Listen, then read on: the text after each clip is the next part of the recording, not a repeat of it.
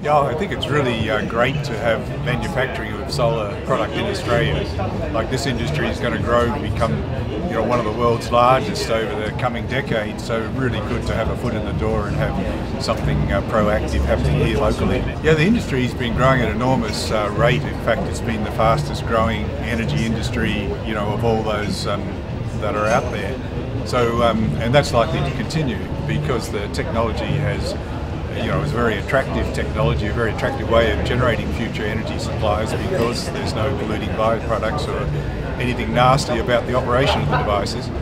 So um, many people can see a future where um, huge chunks of our future energy supply are, are, are supplied by this technology. Yeah, I think uh, consumers want to buy products they can have some confidence in, and I think having an Australian manufacturer that they can visit and there's people there they can talk to and learn about the history of the module, how it's made, and so on. You know, it's just great. So I think it's um, a very positive step forward for the Australian consumer.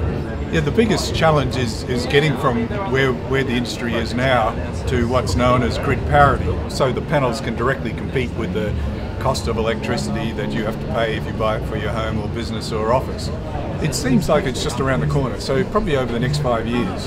So with ongoing support for the uh, increasing deployment of the technology, I think that's the time frame we're going to see it happen. But the most effective uh, means of support has been what's called a feed-in tariff, whereby if you buy a solar panel and install it, you get paid for the electricity it produces at a rate that makes um, it a bankable proposition. And that scheme's worked extremely well, particularly in Germany, um, and it's been responsible for the present, uh, present rapid growth of the industry.